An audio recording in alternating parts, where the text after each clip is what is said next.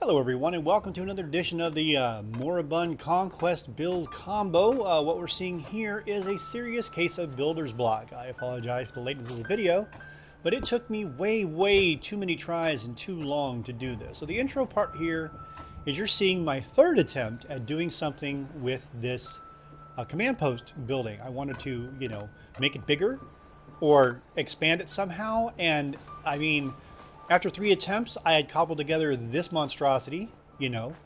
And this is one of those things where uh, this is a rare occurrence for me, is where I build something and I look at it and I'm like, okay, that's almost right. That's not quite what I'm after. It's really close. So I ended up tearing it down uh, three times. I worked on it Thursday and I worked on it Friday and I worked on it Saturday morning. And then I just said to hell with it. I'm not even going to bother with that. I'm going to punt and I'm just going to make a barracks. So I'm going to do what I normally do with these types of settlement things is when I build an original building, I leave it alone until I get more stuff around it. I had forgotten that that's one my tactic because working with Conquest in Moribund World, it really changes things, you know.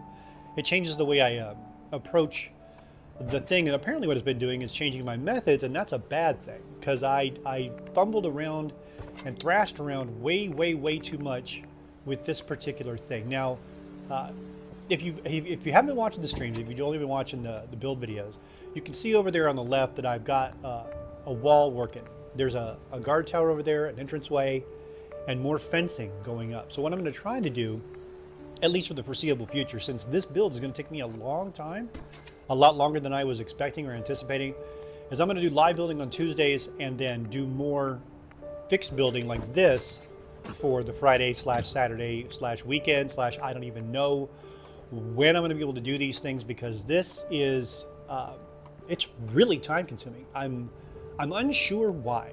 I mean, part of it, of course, is the fact that Conquest has to go in and out of the build menu to uh, populate the workbench and give you your materials and stuff like that. But yeah, so that's the uh, that's the plan, and of course I've got the clear shells working here, so that's why the sky is so nice and uh, clear. I figured that was a, a reasonable a reasonable dodge to do while I was actually building because building in the murk and the and the mist and the rain and the rad storms is just you can't see anything you know? Now when I do the tour you know yeah I'll leave the regular weather on but for the building we're gonna do this. So uh, what we're gonna build here today is a barracks living quarters uh, you know thing for our guards and our like permanent our permanent residents.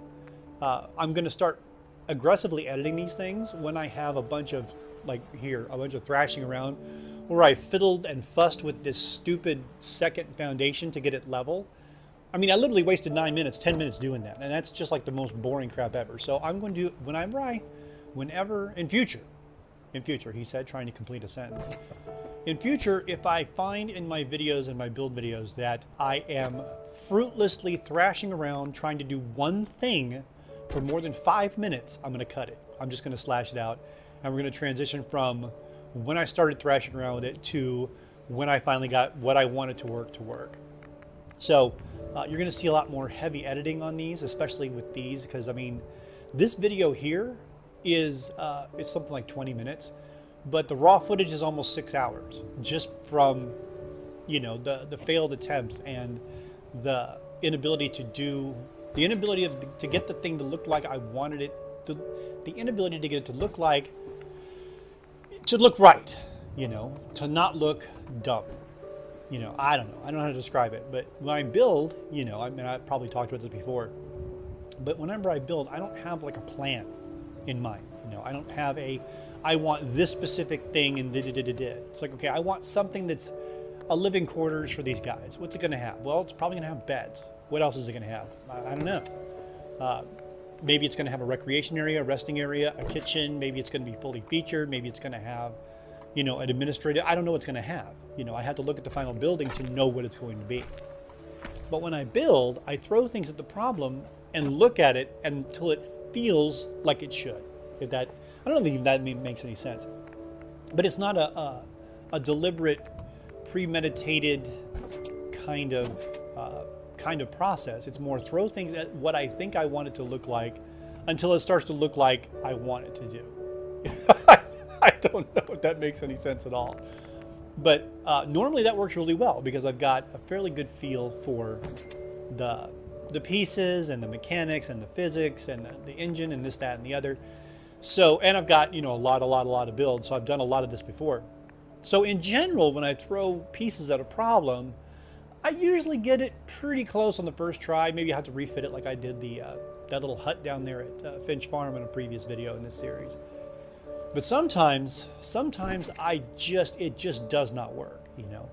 Like this thing here. I, I was, I went the wrong direction. I tried to redo the command post before I had any other buildings here. And I'm thinking in hindsight, of course, of course it's in hindsight, but I'm thinking in hindsight that that's got to be one of the last things I do because the command post is going to be informed by whatever it's, you know, over, whatever's commanded, you know, whatever it's, whatever the structures are here when I need to place it. So we're going to do normal, you know, make funky directions, different elevations, patch holes with just whatever I can find, get it to stick in there, yada, yada, yada.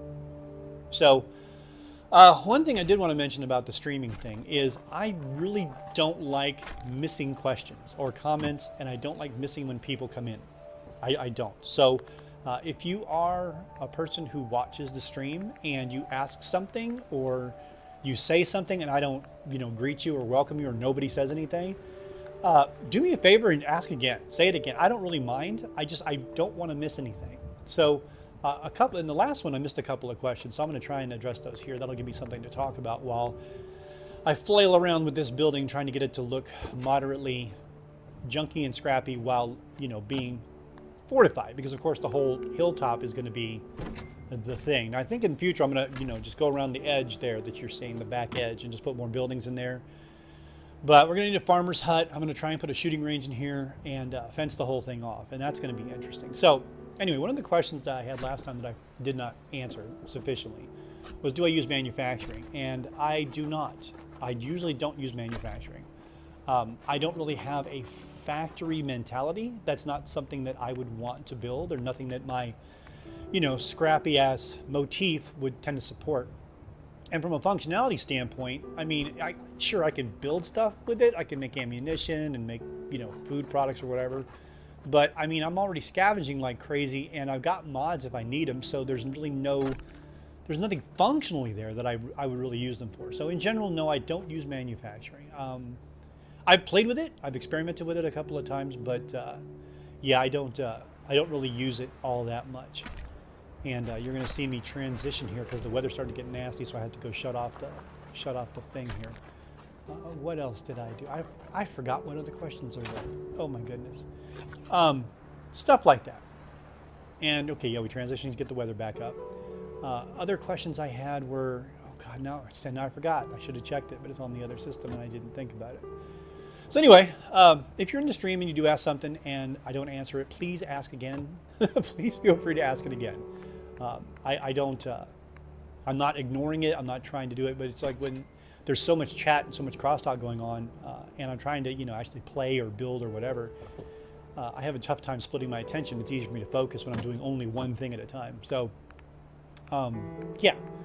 So what I'll do is for the next stream, um, which will be Tuesday. I don't think I'm going to stream on Sunday this week because, of course, it's E3. Bethesda's going to be doing their thing at 10 o'clock Pacific, which of course is you know noon Central, which is uh, the exact time I uh, I stream. So we're gonna probably skip that this week. I may do it, but if it doesn't happen tomorrow, it's because of E3.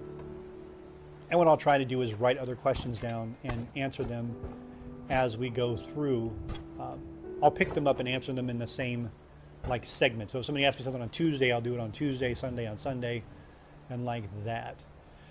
Uh, in other news, was this as I thrash around with this roof piece and it won't go where I want it to go because it doesn't like that top slot, the bottom slot where I want it to go. Um, thank you to Draco Invictus for uh, his streams uh, on State of Decay 2. I was not going to get this game, but uh, from watching it, it looks like it's fairly stable and um, it's definitely getting patched pretty frequently. So they're fixing the problems as it goes. So I went ahead and got it uh, yesterday, and it took entirely too long to download. So I'll be playing that. Probably will not be, you know, doing any recording with that one. That'll just be my stress relief, my stress relief thing. And here's another cut as I thrash around with the scaffolding, trying to get this thing to work. And we'll put it up there, and we're going to cut really quick, I think, right there. Yeah. So six more minutes gone as I couldn't get the scaffolding, the scaffolding supports to snap to the, the single piece. And then I did a double piece and then I did a short one and da da da da da. So, um, yeah, so State of Decay is pretty fun so far. Um, I'd forgotten just how frantic the beginning is because everything's going along all the time and you're just dealing with no food, no medicine, no water, no morale, no this, no that, no people. Everything's getting attacked. It's like blah, blah, blah. So it's coming along though. Uh, the mechanics are pretty much the same and um, they seem to have improved the uh, controller latency. I have not yet died to not being able to um, accurately or you know precisely do what I tell my character to do what I want it to do. One thing it could use though is a better tutorial. A lot of the stuff that it throws at you isn't really explained, you know, like the plague heart thing. I had to go kill one of those things, and all you need explosives. I'm like, okay, great. So this guy offered to sell me a couple of these little soda can grenades. I'm like, okay, well he's got two grenades. That's going to be enough. Well, no, it's totally not enough. Um, it would be nice if uh, it had warned you, saying, hey, you're probably going to need more explosives than this. You might want to you might want to arm up a little bit or, you know, like that. Um, I do miss my flying kick from the previous one because one of my favorite tactics, of course, was to knock them down, you know, just kick them over and then just smash their heads in with the, with the special finishing move because that, you know, saves weapon wear and tear. because I don't have to stand and whack at them like I'm trying to chop down a tree.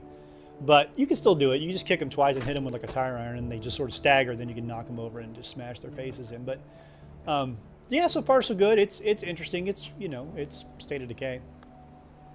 And we're gonna put this thing up here because this place, of course, is going to be a fortified encampment. It's going to be a Minuteman training base and a forward outpost and like that. So we're going to have guards and we're going to have a, a little bit of crops with you know the fully featured stuff because they're going to need to be you know self-sufficient out here at the ass end of nowhere. Now, this location, if you did not tune in the last time, or you only saw the stream where I had started building over there by those cabins, this place is a little bit to the northeast of that. This place is almost due east of the electrical club. It is due north of the robotics, the robotics uh, ground. Scrap Palace is kind of down the street there, and uh, at the end I look over the water, and if you look over the water to the northeast, you can see Egret Tours. This is on a little, the, the road kind of turns here. So it seemed like a great place to have, you know, good, good sightlines, good traffic, easy for them to get in and out of, and um, stuff like that. I'm trying to figure out how to patch that hole. So yeah, um, I did solve the conquest problem. The duplication, triplication problems I was having were just filling the workbench, filling the workbench. It turns out that the uh, I had a mod called Scrupulous Scrapping in there. And what Scrupulous Scrapping does is it changes the properties of a lot of junk. Like, I don't know, maybe 80% of it. Gives it different values, different weights, different material out, you know, different material compositions and stuff like that. And uh, if you put, if you have scrupulous scrapping and you have conquest, you have to put conquest first. Because if you put scrupulous scrapping first, conquest does not know what to do with this modified junk. So it doesn't know how to delete it because it's not I don't know, I'm guessing that perhaps the original mod author of Scrupulous Scrapping changed the names or something, or altered their properties in such a way that Conquest does not recognize it as valid junk. So it just completely goes berserk and keeps filling it up and filling up and filling it up. But I hadn't really noticed how bad it was until I, you know, fig figured it out and put it in the right place and instead of, you know, 11,000 wood or 22,000 or 71,000, I only had 3,000. I, I had almost no wood. So that tells you how much, uh, that tells you how much the uh, scrupulous scrapping modifies those values. So I had to take about, I don't know, an hour and a half, go unlock, go unlock Spectacle Island because I'd never even been there. Unlock it and then just scrap all the wood and bring it back. So that was um, another, you know, hour and a half, two hours of creating this video where I didn't actually have anything to record. But this little place is looking pretty good. I, have got a good, I've got a good uh, chunk of land there surrounded that we're going to be uh, doing stuff with.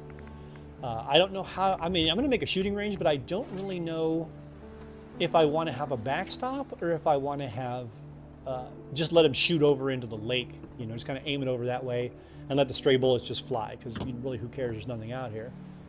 Because I mean, a shooting range, people, whenever they do them, right, in the game, they, they put a backstop and it's flat. Or they put, you know, junk walls in there. And uh, if you've ever been to a real shooting range, you will know that a flat backstop is uh, really dangerous.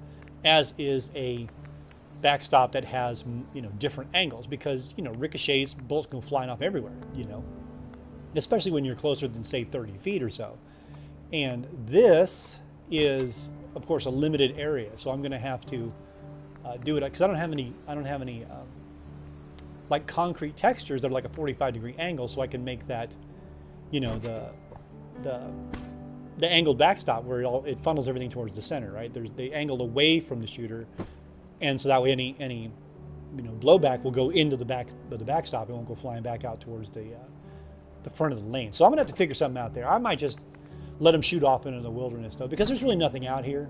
You know I mean you look at the lake over there there's nothing in that direction. So I can just have them you know put like a chain link fence up there and just let them shoot through it. Who cares? But as always we're going to put another uh, guard post up here. And I think that double guard post that I have in the front I think that's going to go away I'm pretty sure I'm going to take that and make that one guard post instead of two and just rebuild that whole front wall. Because once I built the wall around what's going to be the field and the lower entrance that faces the street, I realized I really didn't need two guards looking that way. I only need one. And since Conquest has a limit of 10 people, I don't want it to have, you know, half of them being guards. That doesn't, that doesn't, that doesn't work. I am going to need a bigger bunkhouse though, because the bunkhouse here that I'm standing on only is only to um, only sleeps four because it's to be for the guards, right? So I'm to have to have a visitor's bunkhouse or a you know a trainee's bunkhouse or or something of that nature elsewhere. And it's to be I might just use a military cots for that because that seems like it would be a good idea for this sort of temporary. I mean, because you would come down here for training and you know rotate in and out on patrol. You wouldn't live here like the guards do. I mean, the guards could rotate out as well, but you really don't want them to do that. You want them to stay put so they get a feel for what normal is here, you know, so that they don't get all excited when they hear some shooting going on down the scrap palace because there's always shooting down the scrap palace because super mutants are down there, and Raiders and the Brotherhood are always are always down there, you know, mixing it up. So you wouldn't want a newbie going, "Oh my God, sound the alarm! They're shooting!" It's like, yeah, no, dude, that's the super mutants. Don't worry about it. Until you actually see one coming up, don't even sweat it. They're, they're always down there. Oh, that was one of the other questions I just remembered. Um, from a lore perspective, does it make sense to militarize the Minutemen? Does it make sense? And uh, see, this is where it gets weird. Because from a game mechanic standpoint, from a what Preston has said standpoint, from a history of the things that we know about them in the game standpoint, they weren't ever that militarized. They had a very, very tiny command structure. They had very, very few officers. It was it was mostly a volunteer militia. You know, it was like it was like the farmers who keep the guns on the walls, and when stuff happens, they grab granddad's rifle and they go protect the settlement. They go protect the food. They don't have organized patrols. They don't have a command structure. They don't have communications. I mean, they have radio freedom, but that's more of a broadcast. That's not a two-way thing. You can't call, or at least I've never seen them do it. There's no like infrastructure for that sort of thing. So, um, and the Minutemen have always been reactive. You know, they always react to things. They don't. They're not proactive like the Brotherhood. Now we're going to go ahead and switch out, do the weather.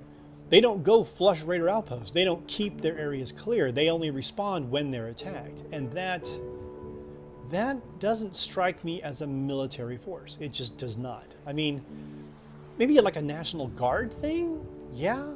I mean, that's kind of, but it's not an active military military, you know? It doesn't, I don't know, it just doesn't make sense to me that they would be that. Now, an argument could be made that they could be that. It would, you know, when you're the general, you can just organize them and get them settled up and, and you know, put them in, put them all in armor. But even when you do that, your patrols are going to be guys in street clothes where with pipe pistols. So they're all clearly volunteers. So okay, so here's the barracks. Here's the final bunkhouse thing. Uh, what I did is I built it, and then I went ahead and decorated it. You know, put in some put in some flavor, and I just want to look at it in the daytimes to show you all what we're doing here.